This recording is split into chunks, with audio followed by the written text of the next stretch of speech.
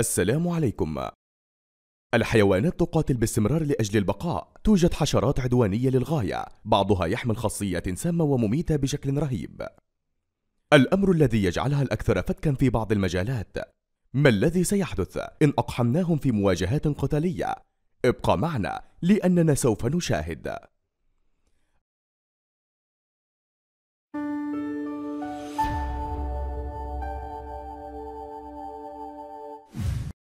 خامسا العقرب ضد الأرملة السوداء. لدينا اثنين من الحيوانات الأكثر رعبا العقرب والأرملة السوداء. هناك اعتقادا بأنه يجب عليك السماح للعناكب بالعيش في منزلك لأنها تتغذى على العقارب. ولكن إذا لمحتها والدتك فستسرع لإحضار الحذاء وقتلها. لنرى إن كان هذا الاعتقاد حقيقة. بالرغم من كون الأرملة السوداء أكثر العناكب سما. إلا أنها أحيانا قد لا تميت البشر. لكن سم العقرب الأصفر يستطيع تنفيذ ذلك. تستخدم العنكبوت شبكتها لصالحها في مواجهة الكتلة القوية والسامة للعقرب لكنها تبدو غير كافية. فقد تعرضت للساعات متعددة. لا يحاول العقرب الهروب كذلك. فقد تم عضه من طرف العنكبوت عدة مرات. أي السمين كان الأقوى. يبدو أن العنكبوت ماتت أولا ولكن حتى العقرب لا يقوى على الحراك. لكن من فاز في المواجهة هكذا هذا ما ستقرره أنت يا بطل. رابعا العقرب ضد الخنفساء. الخنافس عادة ما تكون هادئة ومسالمة لكن ليس أثناء المواجهات. هنالك قد تصبح مميتة للغاية. بالرغم من أن هذا البوكيمون لا يمتلك قدرات سامة إلا أنه يمتلك لصالحه قشرة قاسية وقرنا قويا. هل سيكون ذلك كافيا للتغلب على العقرب؟ لنشاهد ذلك. تبدو الأفضلية لصالح العقرب في البداية لكن بمجرد انطلاق المواجهة استحوذت عليها الخنفساء. لسعات العقرب السامة لا تجدي نفعا نتيجة الدرع التي تقوم بحماية الخنفساء جيدا. النزال انتهى سريعا حيث تفتك الخنفساء بالعقرب معتمدة على قوة قرنها وتنتهي بقتله. ثالثا أم 44 ضد الضب. أم الأربعة والأربعين هو حيوان سام للغاية. أوه يا للروعة. إن لسمها تأثيرا شديدا إذا ما لسع به الإنسان ويسبب التهابات شديدة نزلات البرد وحمى وضعفا جسديا حادا للإنسان المصاب. الضب قرر مواجهتها في نزال وهو يريدها أن تنتهي طعاما في معدته. الحيوان متعدد الأرجل سريع بشكل لا يصدق. الأمر الذي جعله يصل للتغلب على الضب في النزال وجعله غير قادر على الحراك.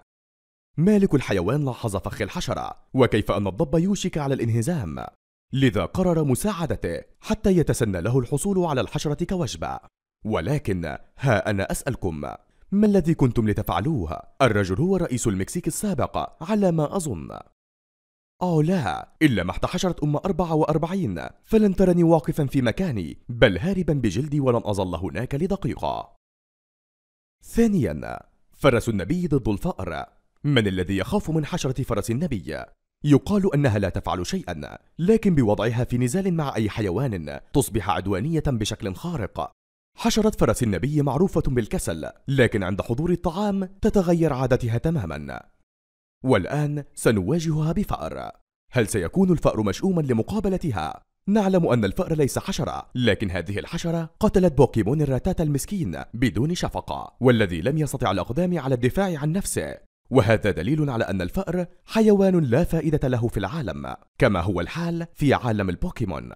لا علاقة له بالتنسك اسمه فرس النبي أو الفرس العابد أو الناسك وهو يعلق ساخرا على هذا هو دنيء لقتله الفأر. أولا أم الأربعة والأربعين ضد العقرب. وها من جديد سندع العقرب وأم الأربعة والأربعين في نزال حتى الموت. كلاهما كان شرسا في نزالاته السابقة. في المرة الأخيرة لم يساعف الحظ العقرب ولذا لديه فوز وحيد وهزيمة وحيدة. ومن جهة قاتلت أم الأربعة والأربعين بشراسة كبيرة. أحضرنا حشرة بحجم متوافق حيث أن الأم الأربعة والأربعين تتواجد بأحجام وألوان مختلفة والتي قد تبدو ضخمة في مواجهة هذه الحشرات الضئيلة. العقرب يعتمد على الحظ موجها ضربات عشوائية. بينما ضربات الحشرة أكثر دقة وشدة. قد استحوذت على الأفضلية الآن وذلك لأن العقرب ليس سريعا للكفاية مثلها.